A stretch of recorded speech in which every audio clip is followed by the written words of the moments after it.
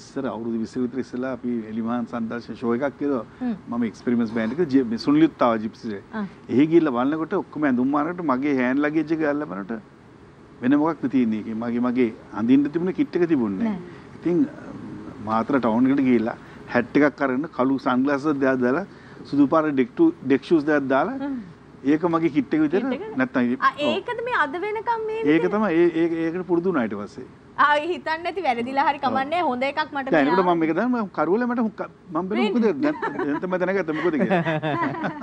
ආ එහෙම අවුලක් නෑ. දැන් ගොඩක් වෙලාවට දැන් ෆැෂන් එක වෙලා මට මතකයි සුවන්න ඒ කාලේ මේ අර අමුතු කියන්නේ හැට් කැප් එකකුත් තිබුණා නේ ඒකක් තියෙනවා, ඒකක් තියෙනවා. නේවි කැප් එක මාරුවේ මාරු අඳිනවා ඒක. මාරුවෙන් මාරුවට ඒ දෙක දානවා. ප්‍රෝග්‍රෑම් එකේ හැටියට එක වෙනස් වෙනවා. අන්න හරි